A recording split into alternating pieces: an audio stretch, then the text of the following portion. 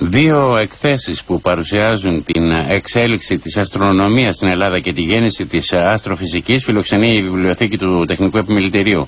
Πρόκειται για αυτή με, τίτλο «Ο μηχανισμός των αντικειθήρων και τα αρχαία αστρονομικά όργανα». Η Γενική Διευθύντρια του Επιμελητηρίου, η κυρία Δήμητρα Κανέλου, μίλησε στη Βίκη Παπαστεφάνου. Γίνονται στα πλαίσια του εορτασμού των 90 χρόνων της βιβλιοθήκης του Επιμελητηρίου. Ο σκοπός μας είναι να ενημερωθεί ο κόσμος για τη βιβλιοθήκη, αλλά και να αναδειχθεί η αρχαία ελληνική τεχνολογία όσο το δυνατόν περισσότερο. Ο μηχανισμός των αντικειθήρων που είχε την ευγενή καλοσύνη να μας το δωρήσει κατά κάποιο τρόπο για λίγο χρονικό διάστημα ο καθηγητής του Πανεπιστημίου, ο κ. Ξενοφών Μουσάς και τα αρχαία αστρονομικά όργανα που επίσης είχε την καλοσύνη ο μαθηματικός κατασκευαστής της αρχαίων ελληνικών μηχανών, ο κύριος Κριάρης. Οι εκθέσεις είναι ανοιχτές στο κοινό κάθε μέρα από Δευτέρα έως Παρασκευή 8 με 3 και θα διαρκέσουν μέχρι τις 31 Οκτωβρίου. Στα πλαίσια της έκθεσης γίνεται και μία ενημέρωση πάνω σε αυτά τα όργανα. Θα ακολουθήσουν και άλλες διαλέξεις με αυτό το περιεχόμενο, αλλά από το φθινόπωρο. Παράλληλα, λοιπόν, το Παράλληλα. κοινό μπορεί να δει και τη βιβλιοθήκη εκεί. Βεβαίως